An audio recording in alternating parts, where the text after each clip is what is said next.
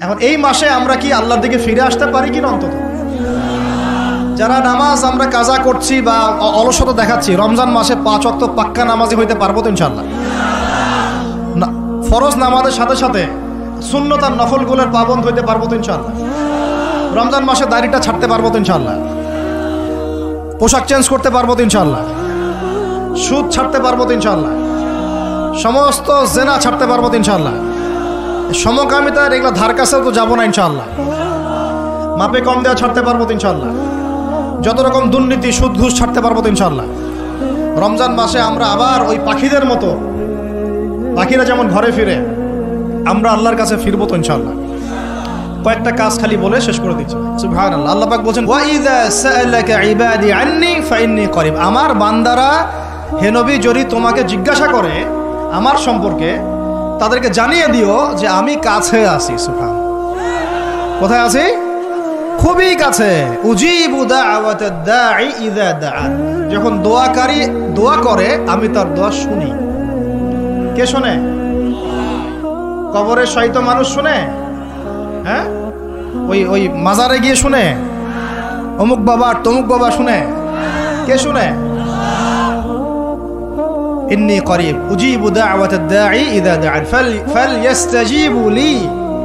ইউমিনু বি লাআল্লাহুম ইয়ারশুদুন। ঠিক আছে না একটা? অতএব আমি যেহেতু বান্দার দোয়া শুনি, তারাও যেন আমার ডাকে সাড়া দেয়। আল্লাহর ডাক মানে কি? হাইয়া আলাস সালা এটা আল্লাহর ডাক না? জাকাত ফরজের ডাক জাকাত দিবে। আল্লাহ পাক আহ্বান করছেন না? রমাদান মাস এসেছে রোজা রাখো, কার আহ্বান এগুলো? আমি যখন ডাকবো, সেও যেন আমার ডাকে সাড়া দেয়। আর ওয়াল ইউমিনুবি এবং আমার প্রতি ইমান রাখে। এতে করে তারা সুপথ প্রাপ্ত হবে, ইনশাআল্লাহ। তাহলে রোজা রেখে আমরা কি করব? আমরা বেশি বেশি আল্লাহর কাছে দোয়া করব, ইনশাআল্লাহ। তিনটা কাজ তো পেয়ে গেলাম। এক হচ্ছে তাকুয়া অবলম্বন করব মানে রোজা রাখার মতো রাখব। দুই নাম্বার, কোরআনের হক আদায় করব। তিন নাম্বার, বেশি বেশি দোয়া করব। রোজা রাখা অবস্থায় বেশি বেশি দোয়া করব। তিন শ্রেণির মানুষের দোয়া ফেরত দেওয়া হয় না। জানেন তো হাদিসটা? এক শ্রেণি হচ্ছে রোজাদার। আরেক শ্রেণি হচ্ছে মুসাফির, আরেক শ্রেণি, ওই যে মাজলুম, মাজলুমের দোয়া, এটা বিফল যায় না। আরও এক শ্রেণি আছেন, অন্য হাদিসে পিতা মাতার দোয়া সন্তানদের জন্য, এটা আল্লাপাক ফেরত দেন। আমরা যারা পিতা মাতা হয়েছি, সন্তানদের জন্য বেশি বেশি দোয়া করবেন, আল্লাহ পাক তৌফিক দান করেন। এই তিনটা কাজের বাইরে আমি আরও সাতটা কাজ বলে দিচ্ছি, রমজান মাসে করবেন, ঠিক আছে ইনশাল্লাহ চার নাম্বার, বেশি বড় করছে, খালি পয়েন্টগুলো বলছে। চার নাম্বার হচ্ছে, রমজান মাসে বেশি থেকে বেশি মানুষকে ইফতারি করানোর চেষ্টা করবেন এই যে যুব সমাজ যারা আছেন, ইফতারের প্রজেক্ট রেডি করবেন। প্রত্যেকটা দুস্থ, অসহায়, এতিম, মিসকিন, বিধবা এই পরিবারগুলোতে এক মাসের বাজার করে দিবেন। পারা যাবে ইনশাল্লাহ যত কালো টাকা উঠাইছে সব, ওগুলো টেনে টেনে বের করবেন সব। বুঝছেন? বাংলাদেশে এমন বহু মানুষ পড়ে আছে, যাদের একজনের জাকাতের টাকা দিয়ে একটা গ্রামের মানুষকে খাওয়ানো দেয়। ওগুলো উসুল করবেন, চাপ দিয়ে দিয়ে। কটা বললাম? চারটা। বেশি বেশি মানুষকে ইফতার করানো। পাঁচ নাম্বার। পাঁচ নাম্বারটা আমার খুবই পছন্দের একটা আমল এবং সবার সামর্থ্য হয়তো হবে না, তবে আমরা নিয়াত করি, আল্লাহ পাক নিয়াতেই বরকত দিবেন ইনশাআল্লাহ। রমজান মাসে বাইতুল্লাহ জিয়ারত। রমজান মাসে বাইতুল্লাহ জিয়ারত। যাদের সামর্থ্য আছে আল্লাহ পাক যেন তৌফিক দান করেন। আল্লাহ পাক যারা নিয়াত করেছেন তাদের কাজকে যেন আসান করেন, সফরকে নিরাপদ করেন এবং আমাদেরকে বেশি থেকে বেশি বাইতুল্লাহ জিয়ারতের তৌফিক দান করেন। যারা নিয়াত করেছি, জীবনে অন্তত একটাবার হলেও আল্লাহ পাক যেন তাদেরকে হজ করার তৌফিক দান করেন।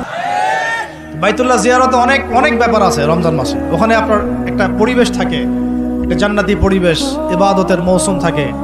হ্যাঁ রোজা রাখা, নবী সাল্লাহ ইসলামের রওজা, জিয়ারত, বাইতুল্লাহ তাওয়াফ, ঠিক আছে? ইসলামের ইতিহাসের জায়গাগুলো ঘুরে দেখা, তারাবি মানে একটা অন্যরকম আমেজ সেখানে বিরাজ করে। আল্লাহ রবুল্লাহ আলমিন আমাদেরকে রমাদান মাসে বেশি থেকে বেশি বাইতুল্লাহ জিয়ারতের তৌফিক দান করে নেন। আমিন পাঁচ নাম্বার, এটা সবার হয়তো তাকদিরে নসিব নাও হতে পারে, তবে নিয়াত করে রাখেন, আল্লাহ কোনো না কোনো দিন তৌফিক দিবেন ইনশাআল্লাহ।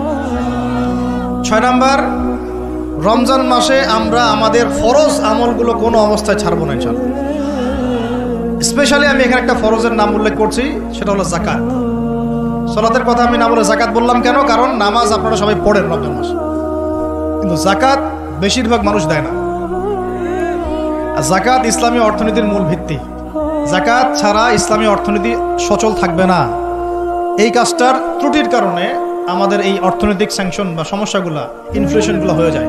আল্লাহ পাক আমাদের অর্থনীতিবিদদেরকে ইসলামী অর্থনীতি বোঝার তৌফিক দান করে এই অর্থনীতি ওমরের যুগে ছিল। ওসমানের যুগে ছিল, আলীর যুগে ছিল, আবু বকর তার যুগে ছিল রাদি আল্লাহ আজমাইন। আল্লাহ নবীর যুগে ছিল। তখন গরিব মানুষ এইভাবে ওই ছেচেও একটা খুঁজে পাওয়া যাইতো না একটা গরিব মানুষ। এখন কি অবস্থা তো দেখতেই পারতেছেন। আল্লাহ রব্বুল্লাহ আলমিন আমাদের সবাইকে রমাদান মাসে জাকাতগুলো দেওয়ার তৌফিক দান করে সাত নাম্বার হচ্ছে রমাদান মাসে এমনিতেই বেশি থেকে বেশি নফল দান সৎকা করবেন ইনশাআল্লাহ। আল্লাহবাক বেশি বেশি নফল দান সৎকা করার তৌফিক দান করবেন। আট নাম্বার, রমাদান মাসে ফরজের সাথে শূন্যতার নফলে অনেক বেশি পাবন ধর চেষ্টা করবেন। খাস করে রমাদান মাসে কেয়ামুল লাইল এবং তারাভির কোনোভাবে যেন ছুটে না যায়। অনেকে মনে করে যে তারাবি পড়লে রাত্রে আবার ওঠা যাবে কি যাবে না? যাবে। তারাবির নামাজ আপনি প্রথম রাত্রে পড়লে শেষ রাত্রে আবার নামাজ পড়তে পারবেন ইনশাল্লাহ কোনো সমস্যা নেই, বরং ওটা আরও ভালো। ওই সময় আল্লাহ রবুল্লাহ আলমীর আহ্বান করতে থাকেন, কে আছো চাইবা? আমার কাছে আমি দিব। কে আছো আমাকে ডাকবা? আমি ডাকে সারা দিব। কে আছো আমার কাছে ইস্তেকফার করব? আমি ক্ষমা করব। প্রথম রাত্রেও তারাবি পড়বেন ইনশাল্লাহ শেষ রাত্রেও চেষ্টা করবেন। অন্তত দু চার ছ রাকাত হলেও নামাজ পড়ার আল্লাহ পাক তৌফিক দান। তো তারাবি নিয়ে অনেক কথা এখানে শোনা যাবে।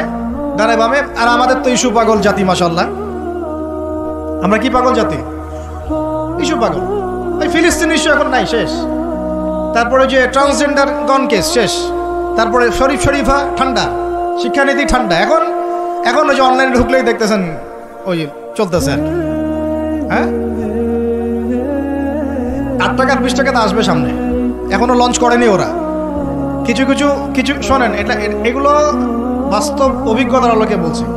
কিছু কিছু মানুষ, কিছু কিছু মানুষকে আমাদের সমাজে ছেড়ে দেওয়া হয়েছে, যাতে এরা মুসলমানদেরকে আপোষের গন্ডগোলের মধ্যে ব্যস্ত রাখে।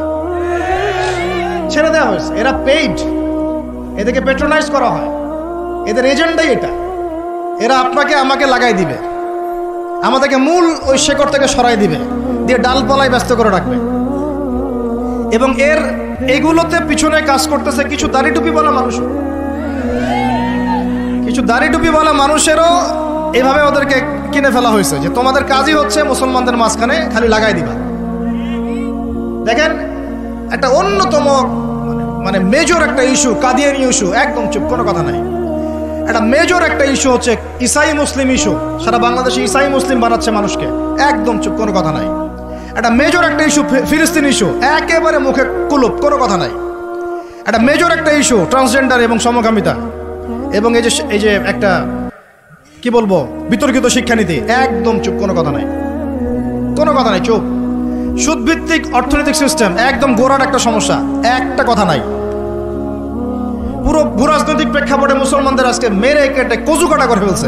একদম চুপ, কোনো কথা নাই। পরে থাকবে আমিন জোরে আর আমার আসতে। তো হাত কোথায় বাদস নিচে না উপরে। রফল ইদেন, করস না করস না। পায়ে পা লাগাস না লাগাস না। তো জন্য আমাদের একজন বরেণ্য আলেম আছেন, তরুণ ভাই আমাদের। মাসাল্লাহ আমরা দোয়া করি আল্লাহবাক ভাইয়ের নেখায়ত আল্লাহবাক বরকত দান করেন, লম্বা নেখায়ত দারাজ করেন, সুস্থ রাখেন। ও ভাই বলছে, ভাই, আমি তো, এরা তো তর্ক করে আমিন জোরে জোরে বলব না, আসতে বলব। আমি তো বলি, আমি আমিন বলিই না। দেখি, আমি যদি আমিন না বলি, আমার নামাজটাকে কেউ ভুল প্রমাণ করে দেখাক।